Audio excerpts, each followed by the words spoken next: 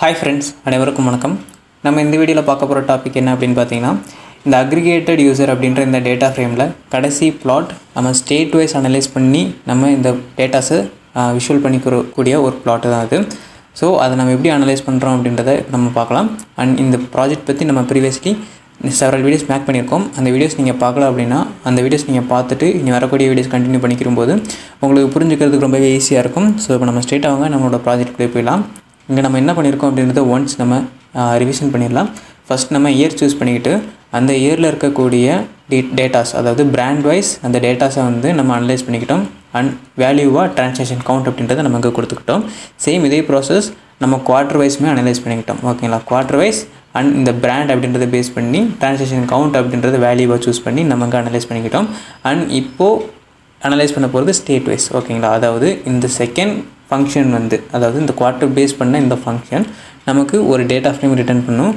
Year அப்படின்றது ஃபில்டராக இருக்கும் அண்ட் குவார்ட்டர் அப்படின்றதையும் ஃபில்டர் ஆகிருக்கும் அந்த ஃபில்டர் பண்ண டேட்டாவை வச்சு எப்படி நம்ம ஸ்டேட் வைஸ் அனலைஸ் பண்ண போகிறோம் அப்படின்றது தான் இந்த வீடியோவில் நம்ம பார்க்க போகிறது ஸோ இப்போ நான் நம்மளோட விஎஸ் கோட் போய்க்கிறேன்.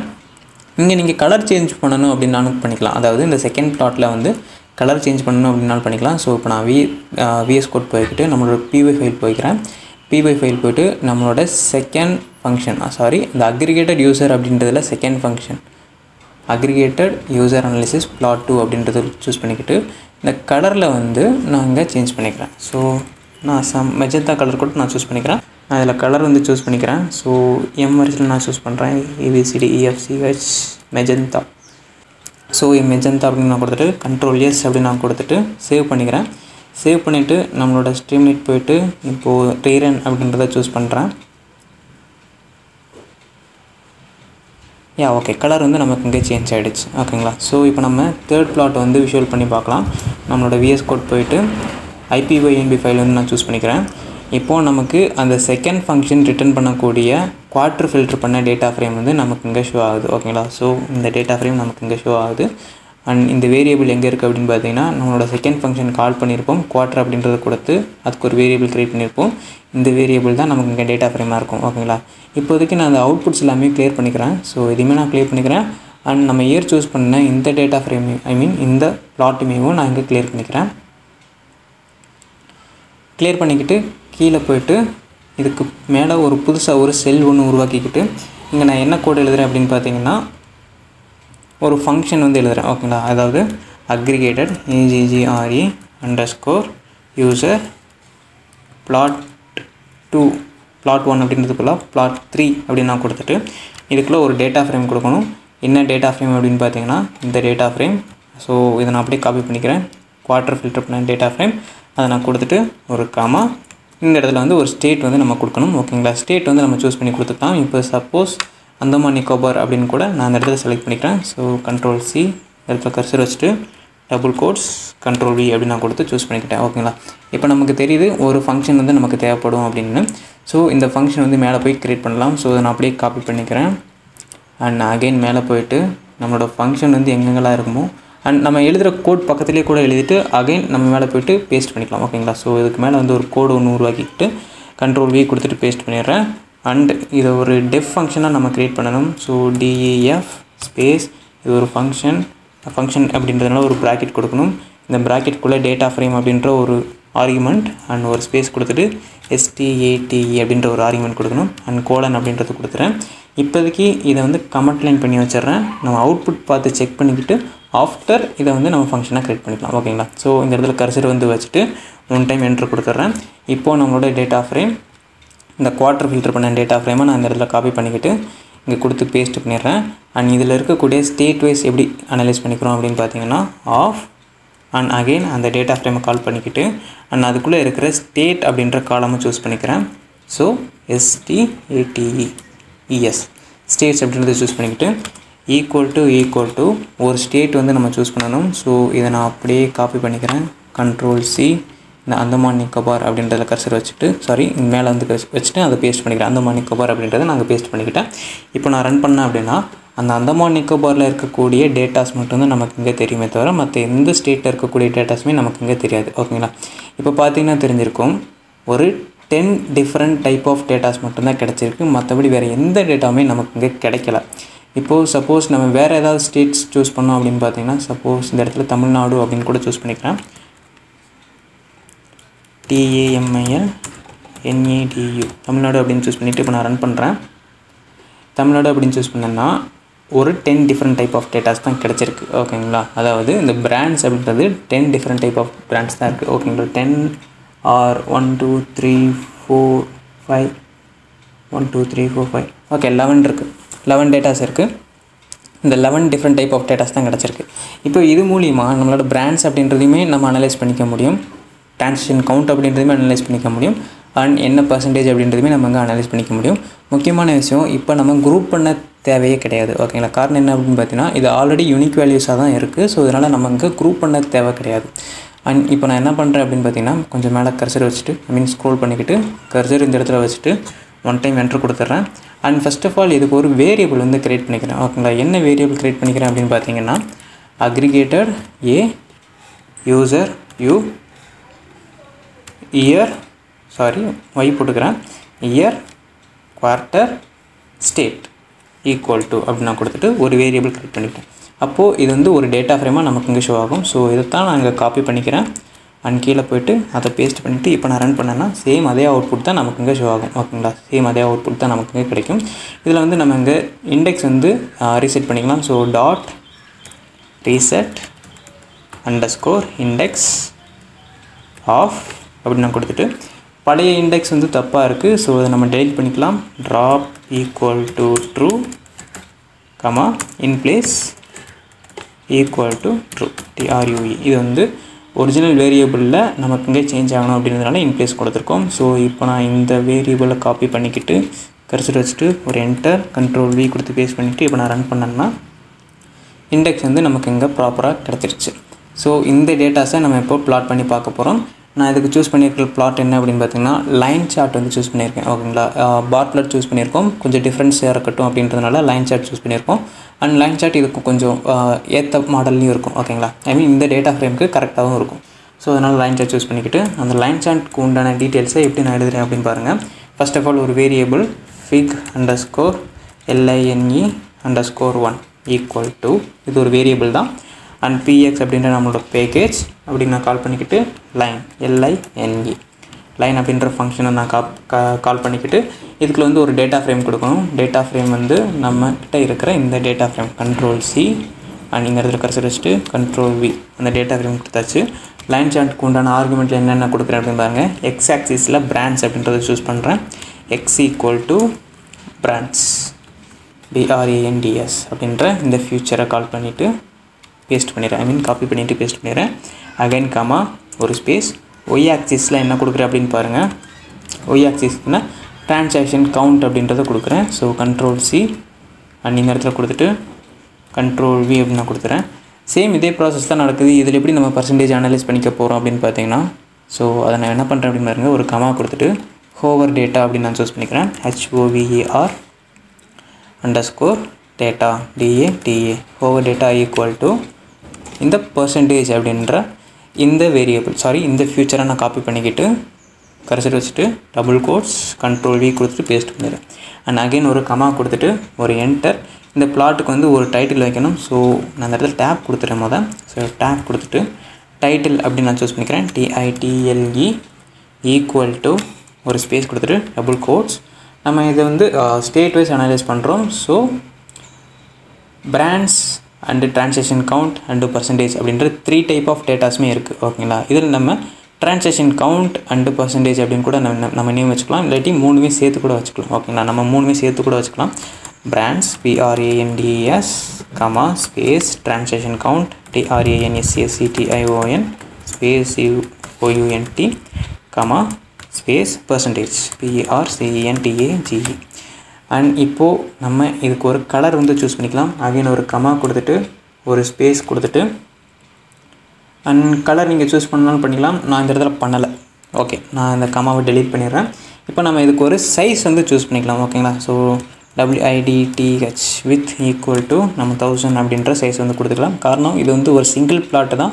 ஸ்க்ரீன் ஃபுல்லாகவே தெரியணும் அப்படின்றதுனால நான் இந்த இடத்துல சைஸ் வந்து தௌசண்ட் அப்படின்னு நான் கொடுத்துக்கிட்டேன். ஓகேங்களா இப்போது இந்த வேரியபிள் வந்து நம்ம இங்கே ஷோ பண்ணி பார்க்கலாம். ஐ மீன் இந்த பிளாட் வந்து நம்ம இங்கே ஷோ பண்ணி பார்க்கலாம். கர்சர் வச்சுட்டு ஒன் டைம் என்ட்ரு கொடுத்துக்கிறேன்.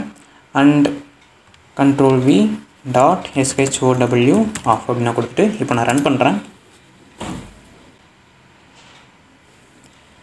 இப்போ பார்த்தீங்கன்னா தெரிஞ்சிருக்கும் ஒரு லைன் சார்ட் வந்து எனக்கு இங்கே கிடச்சிருக்கு. ஸோ அந்த லைன் சார்ட் வந்து உங்களுக்கு காமிக்கிறேன். ஒவ்வொரு மாடலுக்குமேவும் நமக்கு எப்படி கிடச்சிருக்கு அப்படின்னு பாருங்கள் ஒரு லைன் ஷாட் ஒரு ஸ்லைடாக நமக்கு கீழே இறங்கிட்டு அண்ட் ஒரு வெர்டிக்கலாக நமக்கு இங்கே கிடச்சிருக்கு.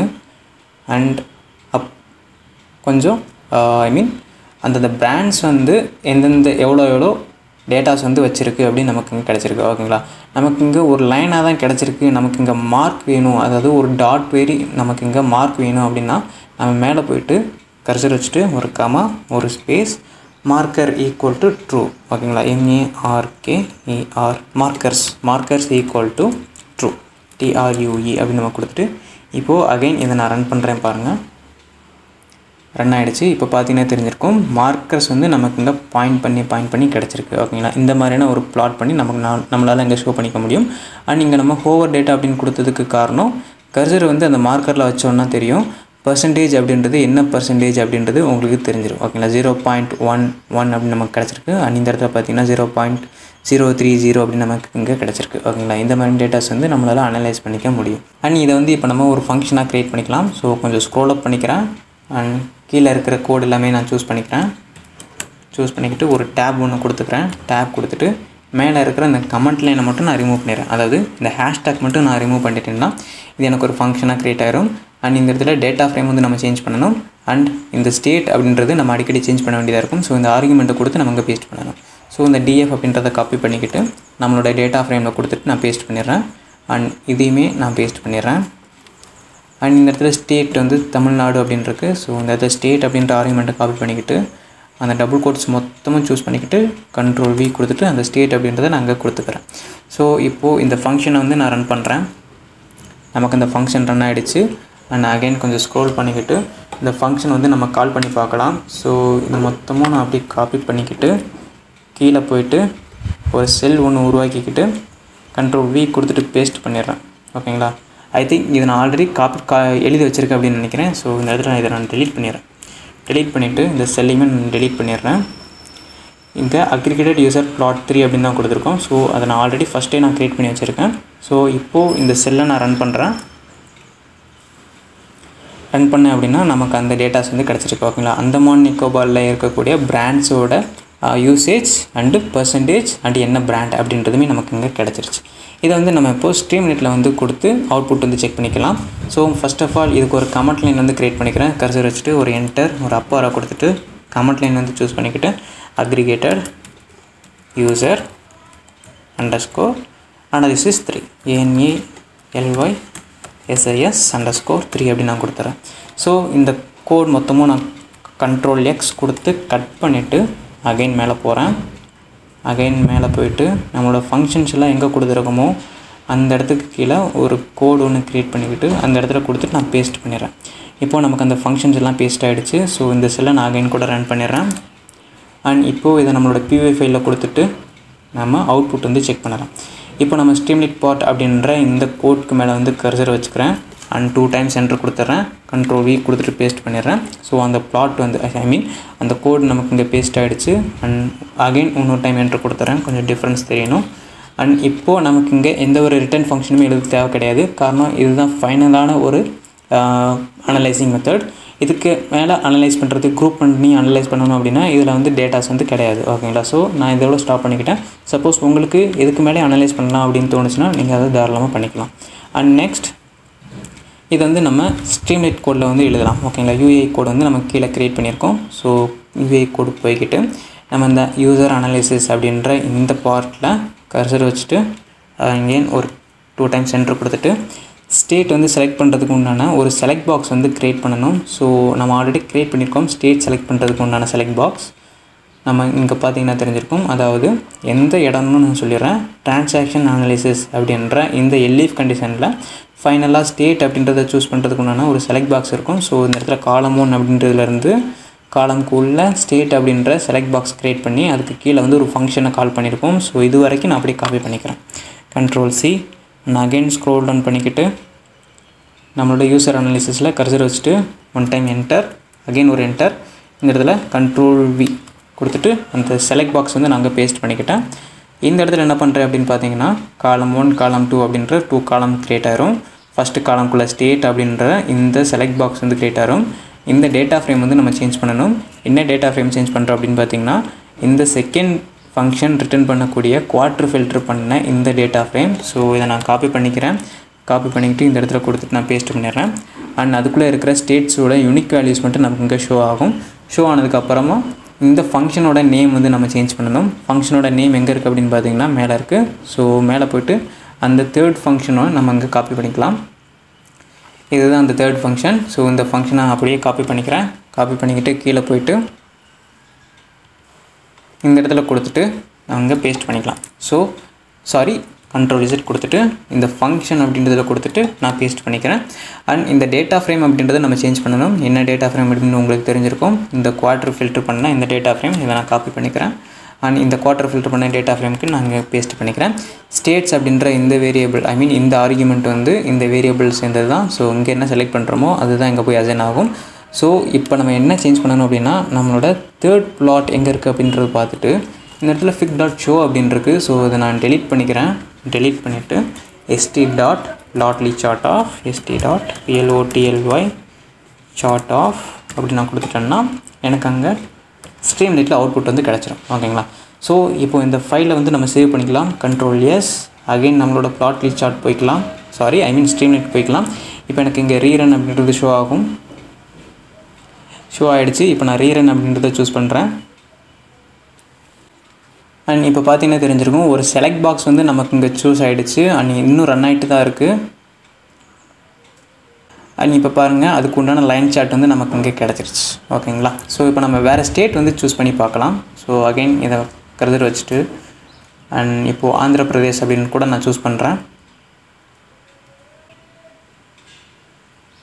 இப்போ பார்த்தீங்கன்னா அதுக்கு உண்டான டேட்டாஸ் வந்து நமக்கு இங்கே ஷோ ஆகிடுச்சு ஓகேங்களா இப்போது நமக்கு இங்கே ஸ்டேட் அப்படின்றதுமே பிரிண்ட் ஆகணும் இந்த டைட்டில் அப்படின்றதுனா ஸோ நம்மளோட விஎஸ் கோட் போய்கிட்டு இந்த இடத்துல டைட்டில் அப்படின்றதில் எஃப் அப்படின்னு நான் கொடுத்துக்கிறேன் எஃப் கொடுத்துட்டு அந்த double quotes right side cursor வச்சுட்டு ஒரு கர்லி ப்ராக்கெட் அந்த கர்லி ப்ராக்கெட்டுக்குள்ளே நம்மளோட ஆர்குமெண்ட் இந்த ஸ்டேட் அப்படின்றத காப்பி பண்ணிக்கிட்டு அந்த கர்லி ப்ராக்கெட்டுக்குள்ளே நாங்கள் பேஸ்ட் பண்ணிவிட்டு அண்ட் ரைட் சைடு கர்சர் வச்சுட்டு ஒரு ஸ்பேஸ் ஒன்று கொடுத்துட்டு இப்போ கண்ட்ரோல் எஸ் அப்படின்னு நான் சூஸ் பண்ணிக்கிறேன்.